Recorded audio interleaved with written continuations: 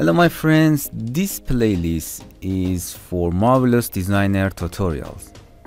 The Marvelous Designer is a powerful and interesting software and fast for simulation and designing the fabrics and clothes.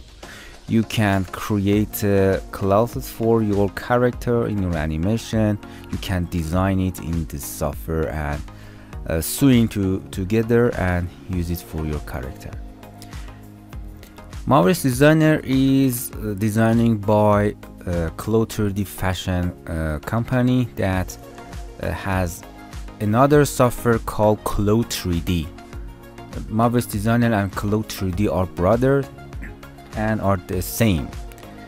But the main difference between Marvelous Designer and Clo3D is this Clo3D is for creating clothes for animation of your character but Clo3D uh, does uh, the same work as Marvelous Designer but it has rendering it, ha it has uh, designing for industry.